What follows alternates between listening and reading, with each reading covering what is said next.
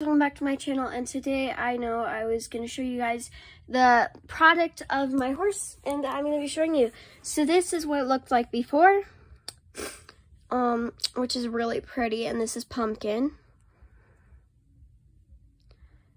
She's really pretty. And now this is what it looks like. Let me grab it. So we came up with the idea of going with a, a gold tail, a very shiny tail.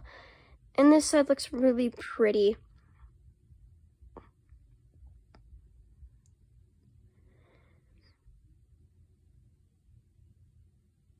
And I think it did really good. I really love the product that it came out into, and I will definitely be painting more horses. But yes, this is one of my horses and she looks really pretty. But this time, the name is going to be Aladdin, and it's a he. Thanks for watching. Peace out.